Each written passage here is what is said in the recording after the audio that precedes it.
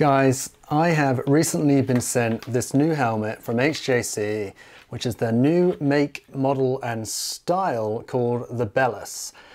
First and foremost, it's got many of the usual features that come with the quality of an HJC helmet.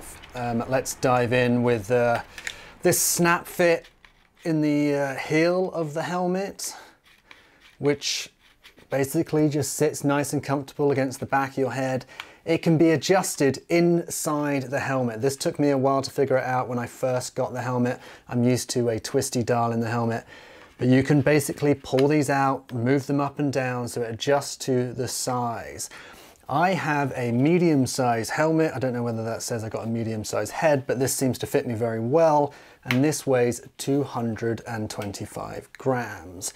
First and foremost, you might see that the style is slightly different to some of the H other HJC helmets, slightly broader, kind of a little bit of that kind of gravelly vibe, not necessarily marketed as a gravel helmet, but definitely kind of get that little kind of really cool stylized vibe and, and uh, not quite like the Ibex where it's all just everything directional from front to back. I think it looks very cool.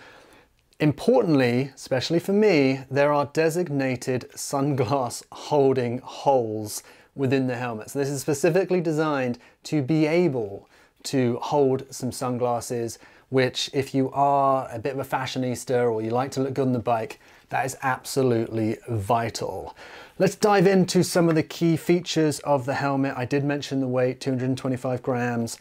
I will say that HJC has a proprietary technology system uh, that is similar to, I, I, posted about this the other day on social media and someone was talking about MIPS.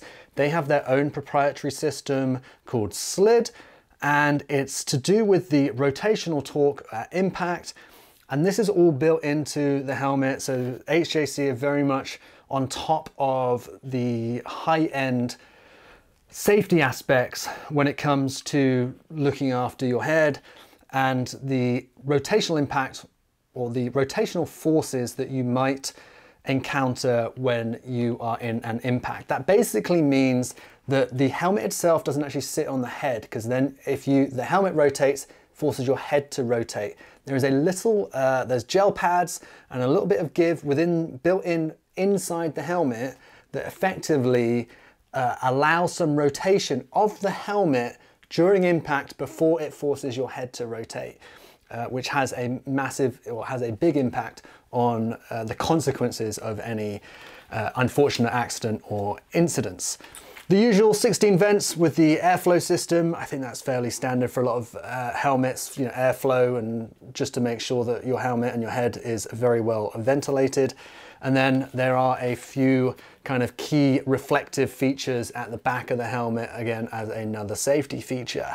At the moment, this helmet comes in three colors. We have the matte brown, the matte white with a little bit of a kind of shiny white as well. And I believe all of them at the moment, there's three colors, black, white, and brown. I think they all have like a matte color on top and then a more uh, gloss color uh, underneath.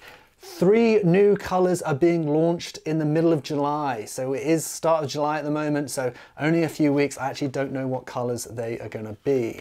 I think it's a very stylish helmet. I like the look of it and it retails about 180 pounds if you dive onto the Saddleback website.